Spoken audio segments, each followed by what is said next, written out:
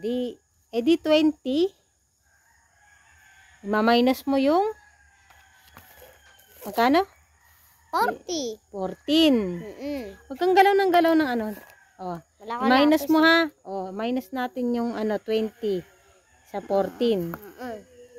Di ah 20 bawasan natin ng 14. Magkano? Ilan? One. Oh, ito halimbawa. Oh, ari 10 na ano? One, two, three, four, five, six, seven, eight, nine, ten. Ah, ganito anak para mas madali. Ten. Magsusulat tayo dito ng Ten. magsusulat tayo dito ng wala pala tayong sample paper anak. Ay! Ay! Robin! Ay, nandito ako!